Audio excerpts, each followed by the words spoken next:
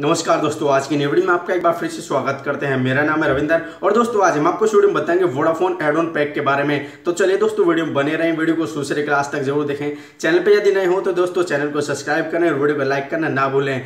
तो बात करते हैं दोस्तों, यदि आप एक वोडाफोन यूज़र हो और आपका जो है डाटा यानी कि मान लीजिए आप कुछ भी काम कर रहे हो नेट पर या यूट्यूब पर या फेसबुक पर और आपका डाटा जो है बीच में ही खत्म हो जाता है। या दोस्तों, आप एक नॉर्मल यूज़र हो, आपके पास फोर जी हेडसेट है, लेकिन आप जो है डाटा बहुत ना के बराबर यूज़ करते हैं। मान लीजिए आपने कॉलिंग कॉलिंग का प्लान करा दिया है और आपको एक दिन आवश्यकता पड़ती है डाटा की तो दोस्तों आप एड ऑन पैक की मदद से आप डाटा यूज़ कर सकते हो और अपने अधूरे काम को पूरा कर सकते हो।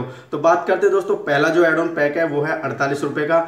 यदि आप खुद या किसी नज़दीकी रिटेलर के पास जाकर आप अड़तालीस रुपये से रिचार्ज करते हैं तो दोस्तों इसमें आपको तीन जी डाटा दिया जाएगा। उसकी वैलिडिटी होगी पूरे अट्ठाईस दिनों के लिए। दोस्तों अड़तालीस रुपये के रिचार्ज में तीन जी डाटा ही दिया जाता है। मात्र तीन जी एक बार में मिलेगा। पर डे तीन जीबी नहीं है। आप तीन जीबी डाटा को पूरे मंथ तक यूज़ कर सकते हैं।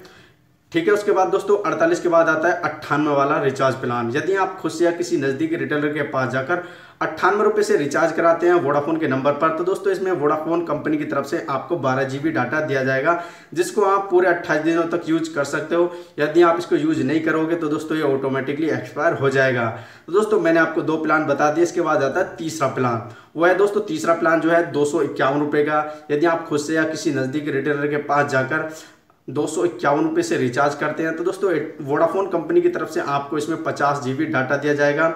इसकी वैलिडिटी दोस्तों पूरे अट्ठाईस दिनों के लिए है। आप खुद से या किसी नज़दीकी रिटेलर के पास जाकर इस रिचार्ज इन तीनों रिचार्ज प्लान में से कोई सा भी करा सकते हो। और अपने हिसाब से अपने डाटा को यूज़ कर सकते हो। दोस्तों, इन तीनों प्लानों की जो वैलिडिटी है वो पूरे अट्ठाईस दिनों के लिए, यदि आप इनको यूज़ नहीं करते हो तो दोस्तों, अट्ठाईस दिनों तक तो ये ऑटोमेटिकली एक्सपायर हो जाएगा। तो दोस्तों, आशा करता हूँ कि आज की वीडियो आपको अच्छा लगी है। यदि आप इनमें से कोई सा भी प्लान लेना चाहते हो तो आप ले सकते हैं। तो दोस्तों, आज की वीडियो में इतना ही। मिलते हैं फिर किसी नई वीडियो में। तब तक के लिए जय हिंद, जय भारत।